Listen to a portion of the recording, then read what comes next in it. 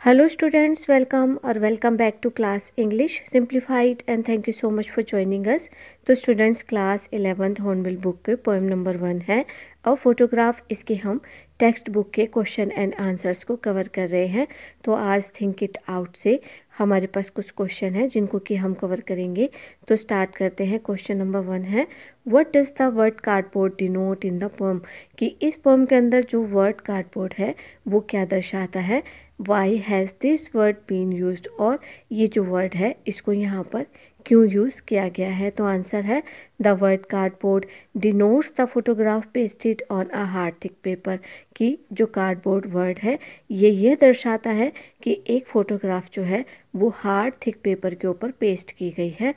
The term cardboard refers to the fact that in the past photographs were pasted on cardboard and a wooden frame was placed on all four sides with glass in front of it to secure the photographs और उसके साथ साथ ये जो cardboard की terms है ये ये भी रेफ़र करती है इस तथ्य को ये रेफ़र करती है कि पुराने समय में जो फ़ोटोग्राफ्स होती थी वो कार्डबोर्ड के ऊपर पेस्ट कर दी जाती थी और उसके सामने एक ग्लास का फ्रेम लगा दिया जाता था और उसके चारों तरफ़ एक वुडन फ्रेम को लगाया जाता था, जिससे कि ये फ़ोटोग्राफ जो होती थी पूरी तरह से सिक्योर हो जाए, यानी कि ये ख़राब ना हो।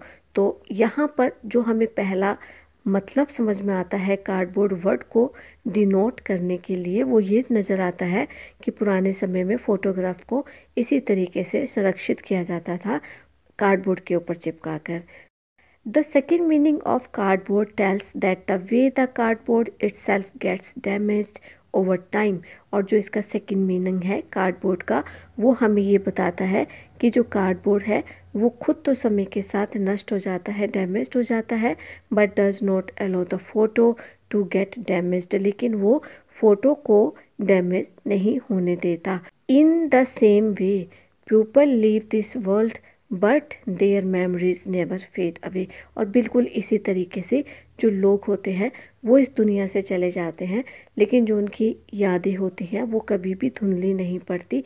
वो किसी ना किसी रूप में इस दुनिया में रहती हैं, चाहे फ़ोटोग्राफ्स के रूप में, चाहे पिक्चर के रूप में, किसी भी रूप में वो उनकी यादें जो हैं, वो हमारे दिलो दिमाग पर छाई रहती हैं।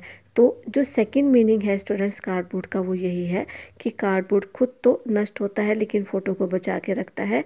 उसी तरीके से प्यूपल भी दुनिया से चले जाते हैं, लेकिन उनकी मेमोरीज यहाँ पर रह जाती हैं। नेक्स्ट क्वेश्चन है what has the camera captured कि जो कैमरा है, उसने क्या कैप्चर किया था, कैमरे में क्या चीज़ कैद हुई थी तो आंसर है, the camera has captured the three girls. अब कैमरे ने कैद किया था तीन लड़कियों को, the poetess mother and her two cousins, Betty and Dolly. और उसमें एक तो जो कवियत्री हैं ये, जिन्होंने की पोम लिखी है शर्ली टॉल्सन इनकी माँ थी, और उसके साथ उनकी दो कजन्स, चचेरी बहनें थी, बेटी एंड डोली। इन देयर स्विमिंग ड्रेसेस और ये किसमें थी? ये अपनी स्विमिंग ड्रेसेस में थी। In the middle is the poet's mother and on both sides her cousin sisters are standing holding her hands photograph के बीच में जो शर्ली टॉल्सन्स है, इनकी मदर थी और इनके दोनों तरफ़ इनकी कज़न सिस्टर्स थी, जिन्होंने कि उनके हाथ को पकड़ रखा था। All the three girls are smiling और ये जो तीनों ही लड़कियाँ हैं, ये स्माइल कर रही थी।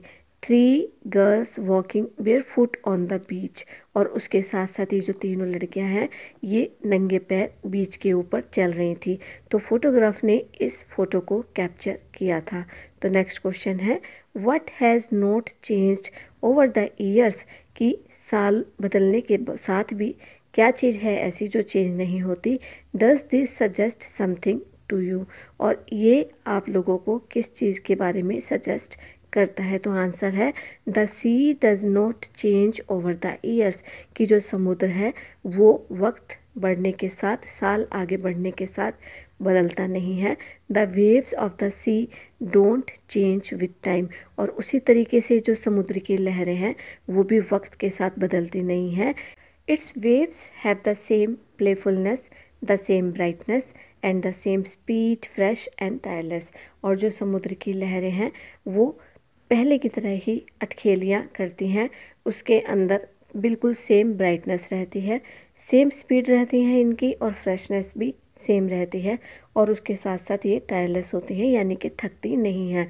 तो जैसे जैसे वक्त आगे बढ़ता है, साल आगे बढ़ते हैं, समुद्र नहीं बदलता और समुद्र की लहरों की अटखेलियाँ भी नहीं बदलती। The changelessness of sea remind us of the changes in human face with advancing age और ये जो सी जो चेंज नहीं होता है इसमें जो बिल्कुल बदलाव नहीं आता है, ये हमें रिमाइंड कराता है कि जो ह्यूमन का फेस होता है जैसे जैसे वो अपनी एडवांस स्टेज में आता जाता है, बूढ़ा होता जाता है, उसके फेस में बदलाव आता जाता है, लेकिन समुद्र के अंदर कोई बदलाव नहीं आता। With time a person becomes old and one day he leaves this world और समय के साथ क्या है? इंसान बूढ़ा हो जाता है और एक दिन ऐसा आ जाता है, वो इस दुनिया को छोड़कर चला जाता है। His physical identity does not remain in this world. Only his memories are left by some things, but the ocean remains the same.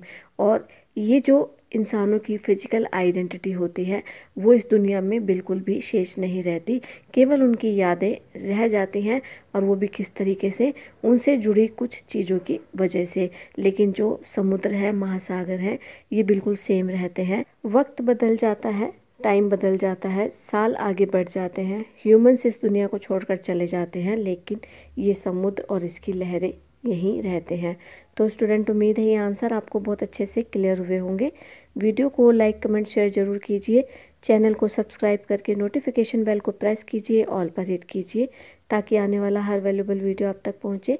मिलते हैं हम आपसे अपने नेक्स्ट वीडियो में। Keep watching stay connected thank you